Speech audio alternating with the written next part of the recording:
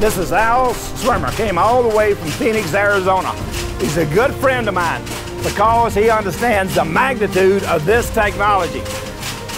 This is Diane. She's a student at North Texas University. She's going to be a teacher, and she wants to ask some questions.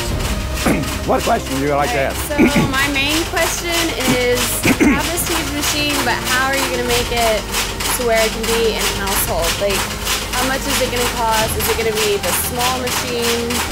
And what are you going to do? Okay. Now, Diane's asking the question, how big is this machine going to be that runs a house?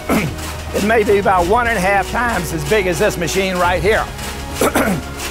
There's something else we will do.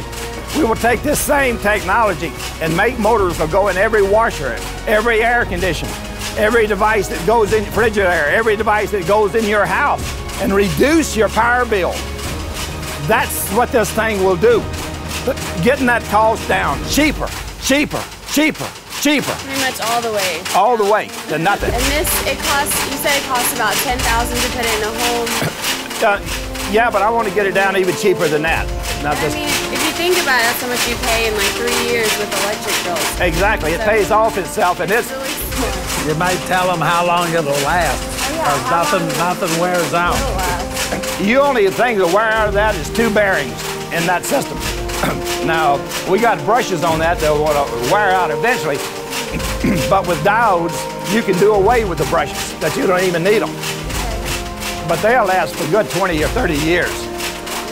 You know, and so and they don't cost anything to replace them. but the major part of this motor will last long past your lifetime.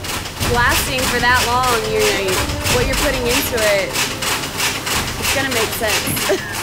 Now I'm to show y'all something else. There's a law called Kirchhoff's law. It says the second law says that if you have loads in a system, you'll have a voltage drop across each one of them. But if you add up all the voltage drops across the system, it will equal the input voltage. In fact, when they write out the equation, it says this the difference between the input voltage and the voltage drops across the system is zero meaning it won't be a difference. You can't get a difference. They also, that second law is to verify the conservation of energy. Well, I'm going to show you a violation of it right now.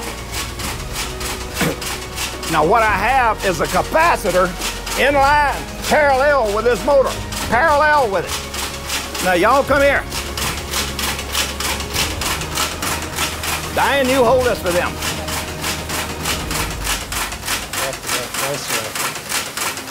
Let's see, I got to go just a little bit closer. All right, watch it. Well, man, I know it's going to show overloaded.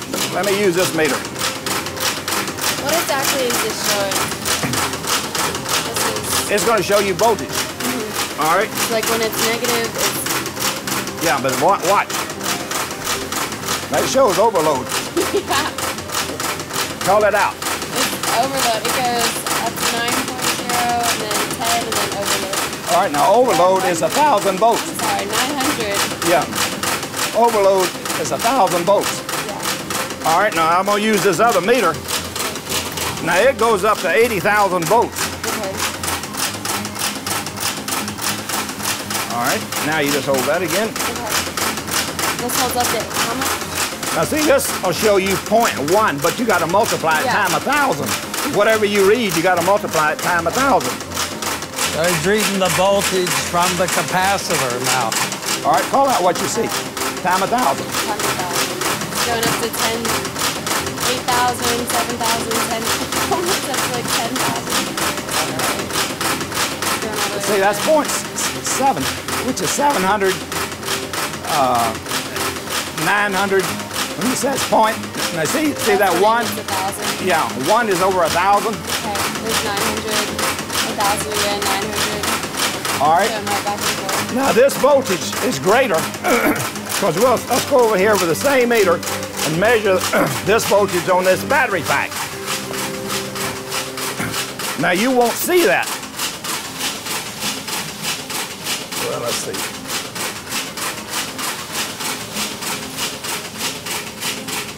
All right, now what you got? Uh, 500, 400, 500 All right, see, that's almost double of what this is. 500 to 400, and you had 900 to 1,000 over there. Now that shows a violations of Kirchhoff's second law. And Al, you know that that's true. That's true. Now, any scientist knows this, but my point is you're seeing something that is impossible. Al comes here all the way from Phoenix because he knows this for real. Well, Al, what can we say to make young people understand they got to get behind this? I think first we ought to say that most people don't use their God given powers of thinking for themselves, and that this is one time when they really should. I mean, instead of listening to somebody else, just think about what Joseph told you about the size of the battery, of the amps that are in the battery that are running this machine.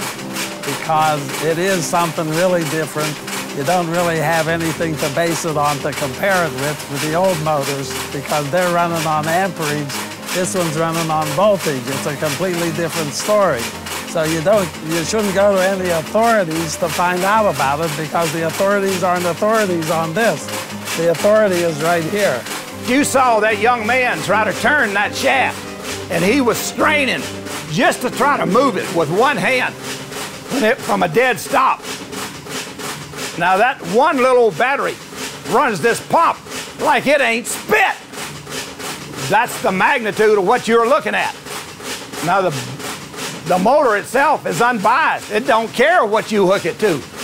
If you give it enough voltage, it'll run anything that you want to put to it. I think you might also point out how almost effortless the pump is working. Sometimes you see a pump working and it's really working hard because of it, but it's so smooth. This really proves it good if you ask me. I think this is better than the front. You, can tell what's going on here. It'll change the world if we can get it out there. That's all we have to do, get it out there. Now, we put an amp meter in the line to see what that current is. Now, this is changing constantly. And most of the time, it's an extremely low power. I have fixed this so that it'll show you point zero zero zero zero right now. Now this goes from point zero to point four the current is extremely low. This thing shows you it's running off a of voltage, it's not running off a current. Dead batteries have voltage capacity, but they have no current capacity. I can run that machine off of dead 9 volt batteries. It takes no power to produce voltage. I'll tell them what would happen if we turn this up to 10,000 revolutions a minute. The power this thing would have. It would run a whole city without any problem as far, as far as the power requirements go. That's the magnitude of this because we're converting mass into energy on a 100% conversion process. The current from that battery is not running that machine. This meter is telling you it's not running the machine. It shows you in spades everything that the scientists have screamed at y'all. This is ready for mass production.